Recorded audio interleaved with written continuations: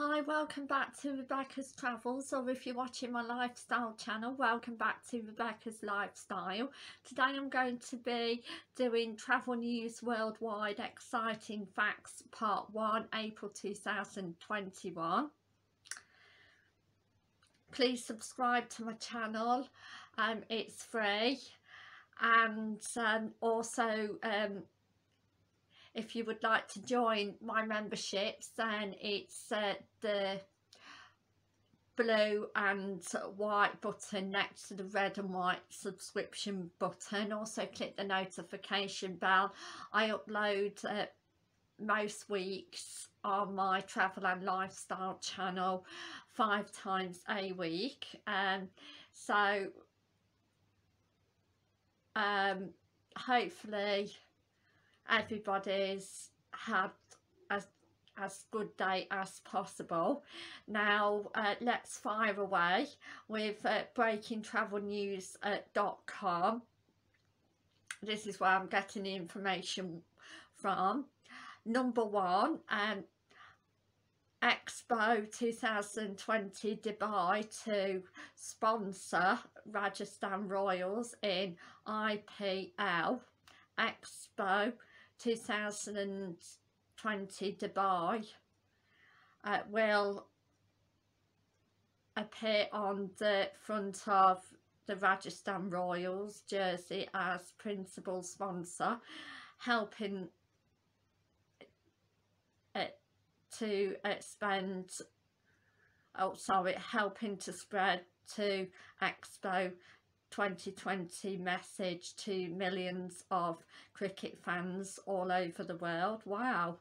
Um number two uh, Walsh step up to uh, lead Leeds International Air Transport Association.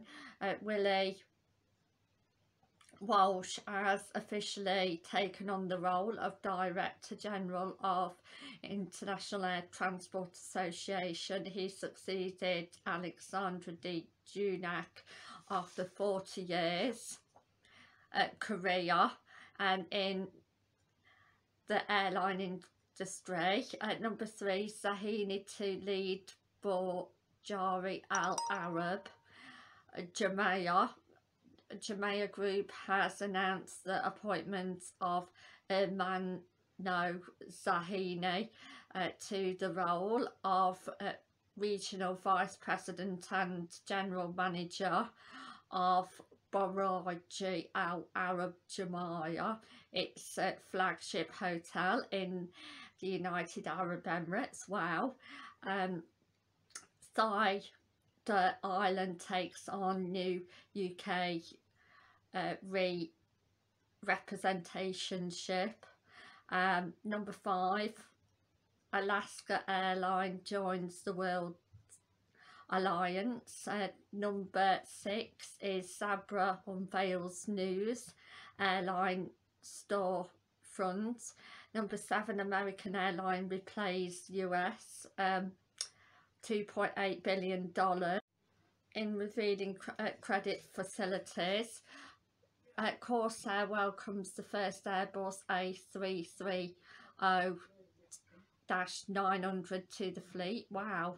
Number 9, Virgin Hotels at Glasgow signed for debut in 2022. Wow, that's excellent. Last but not least, Malta to welcome vaccinated Brits from June. So I would like to say thank you for watching and I'll see you on Sunday, um, which is Easter Sunday. And I hope everybody has um,